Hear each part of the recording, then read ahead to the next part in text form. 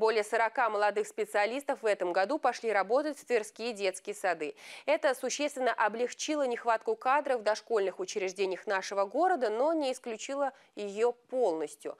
Проблема нехватки работников школьного и дошкольного образования по-прежнему актуальна в большинстве регионов.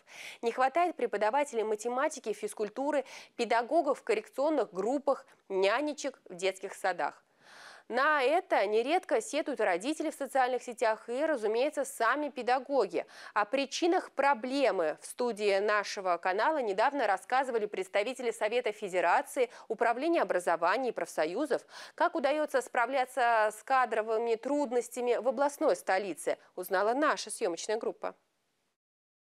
Нехватка персонала в некоторых дошкольных учреждениях не нова. Это одна из главных проблем в системе образования. Ситуация тем удивительнее, что подготовка профильных специалистов для отрасли идет полным ходом. К примеру, только из стен Тверского педагогического колледжа ежегодно выпускается порядка нескольких десятков специалистов. Порядка 50 выпускников оканчивают наш колледж по специальности дошкольное образование, и им присваивается квалификация воспитатель детей дошкольного возраста. Данная специальность достаточно востребована среди молодежи. В этом году абитуриентами после 9 класса было подано 83 заявления. А это составило 2,7 человек на место. Был конкурс. Всего по данной специальности обучается 93 студента в научном отделении и порядка 40 47 а, научно-заочном отделении в возрасте от 18 до 50 лет. Анна только в этом году закончила педагогический колледж. Девушке всего 20 лет. Еще будучи на четвертом курсе, проходила практику в дошкольном учреждении. Получив диплом, там и осталась. Я с самого детства, еще когда училась в школе, а, присматривалась за детьми ну, там, соседскими детьми. Вот. Мне это было очень интересно, мне очень нравилось.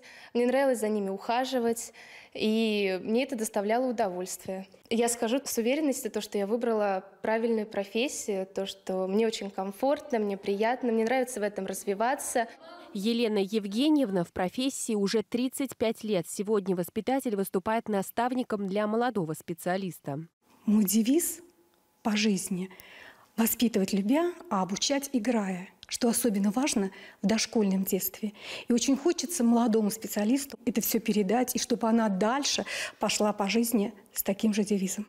В настоящее время второй детский сад полностью укомплектован кадрами. Только в этом году работать сюда пришли сразу четыре молодых специалиста. Вакансий нет, рассказывают заведующий. В этом году, как никогда, наверное, волей судьбы, в год педагога и наставника у нас вот такая вот пришла армия молодых педагогов. Для решения проблемы нехватки персонала в этом году ведется работа со студентами педагогических вузов и СУЗов. В этом случае сад становится еще и площадкой для практики студентов. Также важно говорить с молодежью, говорит Татьяна Беляева.